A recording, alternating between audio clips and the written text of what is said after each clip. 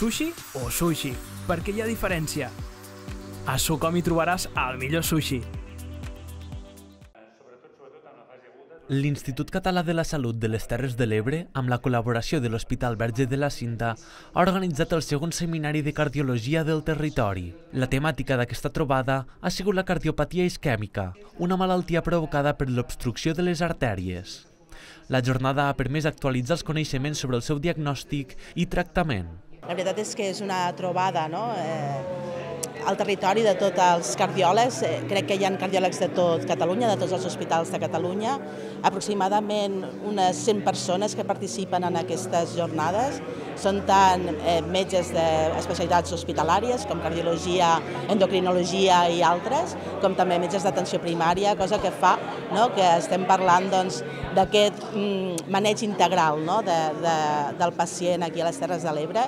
Destacar també doncs, aquesta qualitat d'aquestes ponències i fent una reflexió, no? La, les hores d'estudi que han invertides no? I, i el temps empleat pues, en investigar i en millorar sobretot l'atenció als nostres pacients. No? La cardiopatia isquèmica és una de les malalties més prevalents i en els últims anys hi ha hagut canvis en el seu diagnòstic i tractament, així com en la prevenció dels factors de risc cardiovasculars uns temes que s'han abordat durant la jornada. El seminari està, es basa en, en el tema de la cardiopatia isquèmica. La cardiopatia isquèmica és l'alteració de les artèries del cor, és, és que les artèries se tapen de colesterol, llavors no passa bé la sang.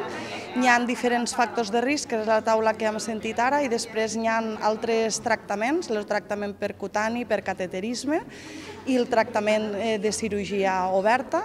També parlarem una taula de les complicacions, les arrítmies, tant les benignes en dispositius marcapassos o desfibriladors. També parlarem d'altres tractaments eh, de les vàlvules que se poden afectar quan hi ha una artèria que els irriga que està tapada i també parlarem de la fibrilació auricular, que és una altra entitat important i que és una arrítmia que s'associa en, en un percentatge elevat a la cardiopatia isquèmica. El seminari ha comptat amb la participació d'un centenar de professionals de la salut.